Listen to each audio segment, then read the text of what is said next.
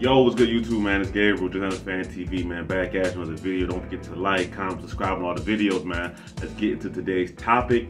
Um, the Ravens 53-man roster is officially settled. Um, the guys that are going to be on the roster, you know, IR stashes, all of that is officially done.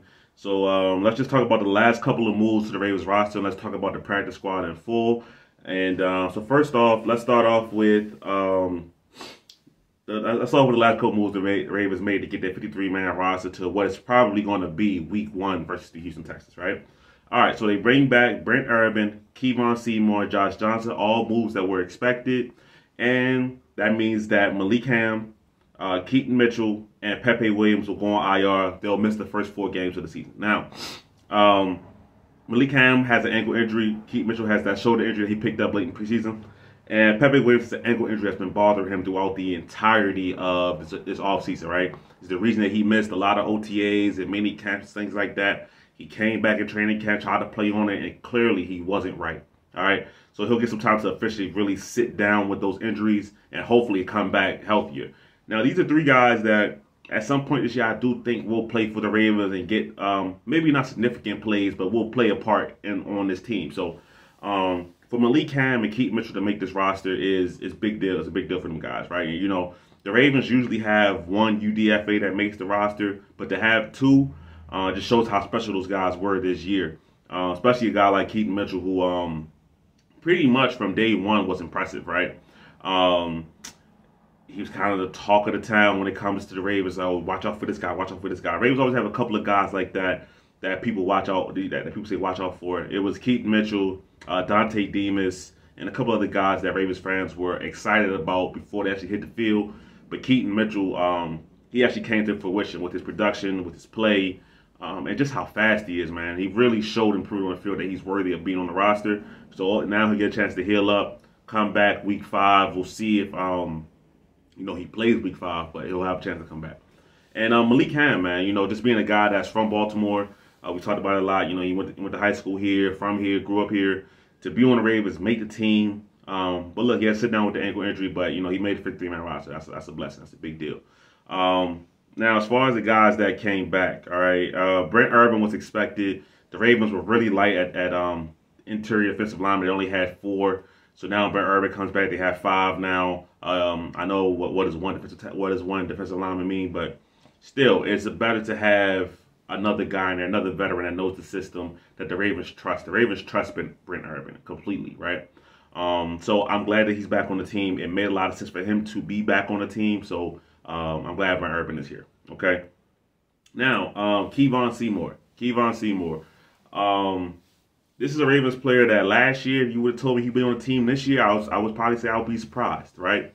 But he stepped up his cornerback play a lot. You know, he's gotten a lot better. He's kind of like a cornerback version of what Del'Shawn Phillips has been, right?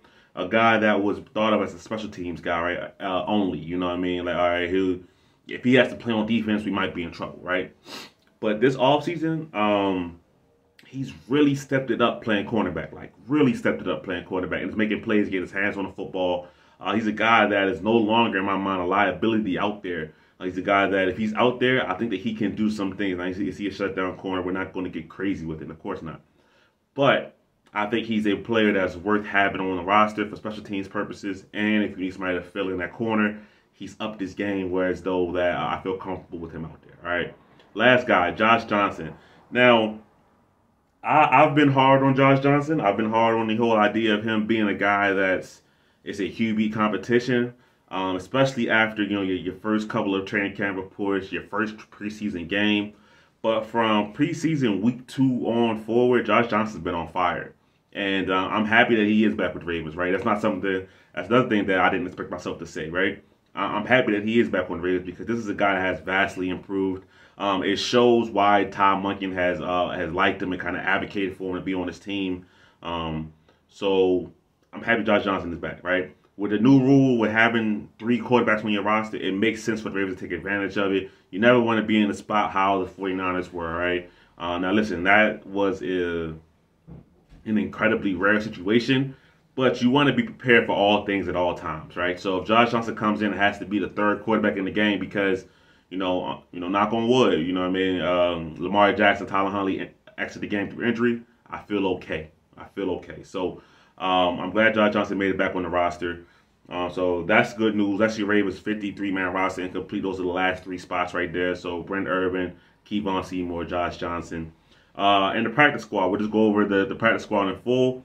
Um, Anthony Brown, Melvin Gordon, Owen Wright, Ben Mason, Laquan Treadwell, Sean Ryan, Travis Vokolek, Sam Mustipher, uh, Tashawn Manning, Tykeem Doss, Rayshad Nichols, Bravvion Roy, Jamar, I always, always want to call him Jamario Moon because of the basketball player. Jeremiah Moon, excuse me, Josh Ross, Daryl Worley, Jeremy Lucien. All right. All right. Now, Anthony Brown, I'm a fan of Anthony Brown. I'm glad he's back. I think that he could eventually be the Ravens' backup quarterback next year if Tyler Huntley goes, if Josh Johnson goes. So I'm glad he's back. Um, let's see. Laquan Treadwell was expected. Sean Ryan was a standout during preseason and training camp. I'm glad he was able to land back on the roster. Travis Vokolek, same thing. Preseason standout, training camp standout, catches everything. I'm glad he's able to land back on the roster. Uh, Sam Mustipher is good uh, O-line depth for the Ravens. He might actually play some games for the Ravens, you know, if injuries occur. Rayshad Nichols has been on the Ravens for a couple of years now. Yeah, I think a couple of years. Uh, he played pretty well in the preseason last year. Didn't hear his name as much this year, but good player. Bravvion Roy, that's the new guy the Ravens pretty much added. Everybody else on here has already been on the team. He's a new guy that they added. Uh, I believe he comes from the Carolina Panthers. Um, so yeah, a new guy. Somebody correct me if I'm wrong. I think he might have been the person who caught the interception on Lamar Jackson last year when, they, when he threw when he threw a pitch to the D lineman. I think that was him, but I could be wrong. I'll, I'll look it up later. Um, and then Jeremiah Moon was on the team last year. Uh, Josh Ross on the team last year uh, kind of got leapfrogged by Del'Shawn Phillips. You know what I mean? I think I think Del'Shawn obviously has special teams ability, but also just straight up linebacker play. Del'Shawn has stepped this game up, so a guy like Josh Ross is kind of taking the back seat. You know what I mean? All right, um, and then a guy that honestly I'm most excited to be on here is Daryl Worley. Um, Daryl Worley's a guy that I grew a real fond admiration for last year, late in the season, especially the game versus the Bengals where he held his own versus Ja'Marr Chase. I say this all the time. No, he didn't lock him down but he didn't look like he was a fish out of water out there, right? And that's impressive for a guy that was just coming in and say, hey, look, you have to go, uh, guard Ja'Marr Chase. That's impressive. So I'm very happy that he made it back on the roster.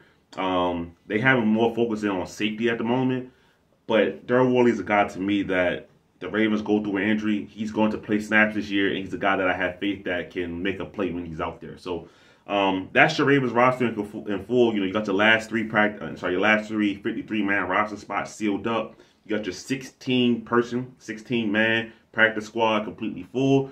And the Ravens are ready to roll, man. We are heading to the regular season. Um, football time, you know, it's a great time of the year. Uh, so I'm, I'm, I'm, excited, man. I'm happy. Uh, give me, you know, if you guys want to comment on the video, man, give me Ravens record prediction for this year. What do you think the Ravens are going to do this year?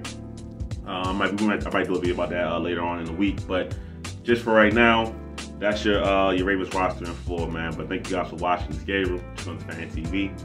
I'm out.